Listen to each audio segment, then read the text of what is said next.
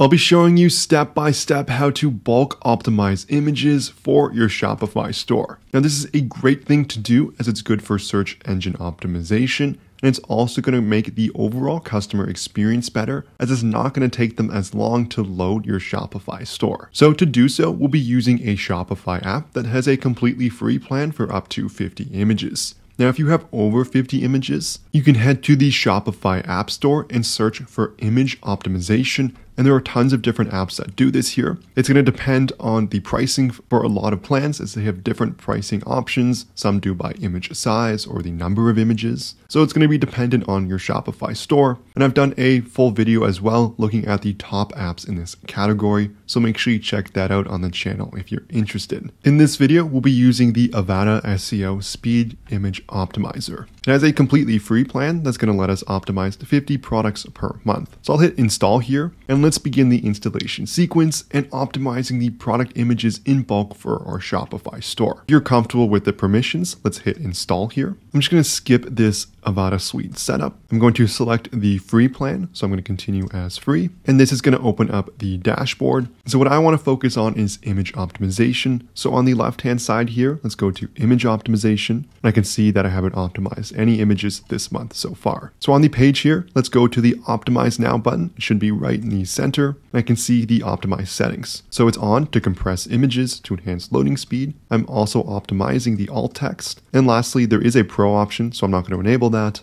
we can optimize the file name. So I'll click optimize now here. I can see it's loading at the top as it begins the process to optimize my images. Alternatively, you can also select the products, collections, blogs, or other to optimize each section individually. So it's now almost complete, sitting at about 16 of 21 images, and it'll be done in just a few seconds here. And just like that, it's complete. It took just a minute here to go and optimize the 21 images on my store. I saw a 17% savings. My image size went from 3.72 to 3.06, so around 700 KB saved. I can view the details of this to see all the images that were optimized and how much was saved for each individual image. I can also view the history for all the optimizations that I've made. So overall, extremely simple to use to bulk optimize your images. This is using the completely free plan that gives you 50 optimizations per month. If you've made any sales on Shopify, you know how hard it can be to keep track of how much profit your store has actually made. That's where our sponsor Profit Calc comes in, the one-click profit calculator available available for your Shopify store. Once set up, all you have to do is select the date range you're looking for to get real-time calculations so you can truly understand your store's performance, letting you make smarter business decisions. It's going to sync seamlessly with all your different ad accounts from Facebook, Google, Snapchat, Bing, Pinterest, and TikTok, as well as many cost of goods sold providers, giving you real-time analytics and tons of different metrics so you can understand everything about your store, which is absolutely crucial in industries such as e-commerce where there are pretty tight margins. There's a 15 day free trial so you can test drive everything for yourself. I'll leave a link in the description below to the app listing directly. You can also search for it on the Shopify App Store by searching Profit Calc and then looking for this logo in the top left here. So make sure you check that out with the 15 day free trial. So this is going to conclude the video here on how to bulk optimize your images for your Shopify store. If you enjoyed this video, I would love it so much if you smash that like and subscribe button below. If you have any questions, leave a comment, but thank you so much for watching and I'll see you in the next video.